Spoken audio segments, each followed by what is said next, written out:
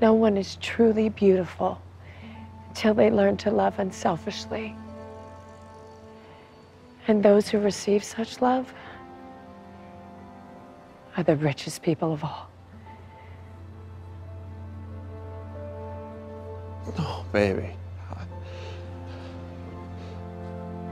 You know, I, I did love you. I still do, for what it's worth. It's worth quite a lot.